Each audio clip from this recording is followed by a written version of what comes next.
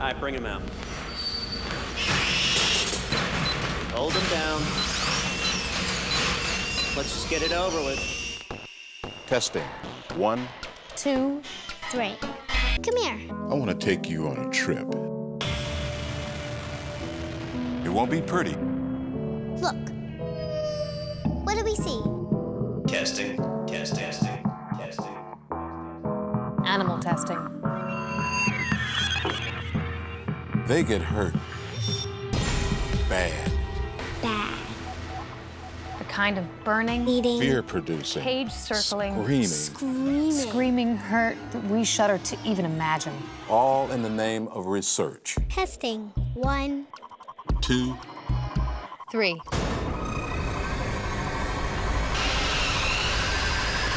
Does a rabbit wear mascara in the wild?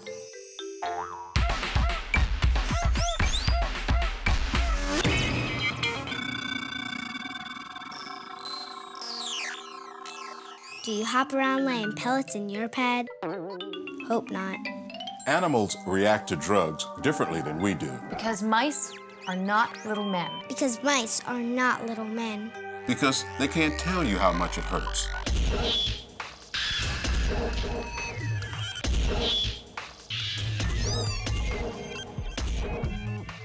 Bottom line, their systems are different than ours. Remember, it hurts. They bleed just like we do. They suffer just as we do, They feel lonely and sad just like we do. They want to live just like we do. because when it comes to pain, hunger, and thirst, And not wanting to die, we're all basically the same. all this while more sophisticated non animal test methods exist. Because testing on animals gives faulty results.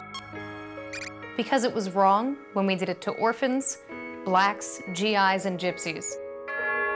And it's wrong when we do it to animals.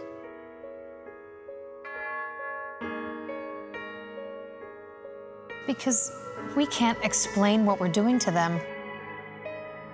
And if we could, what would we say?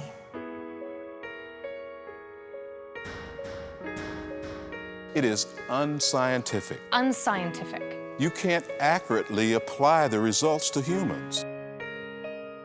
Because life in a steel cage is no life at all.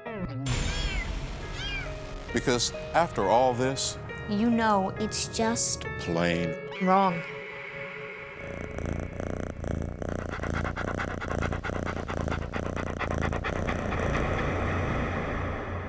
Testing. One, two, three. testing, testing, testing.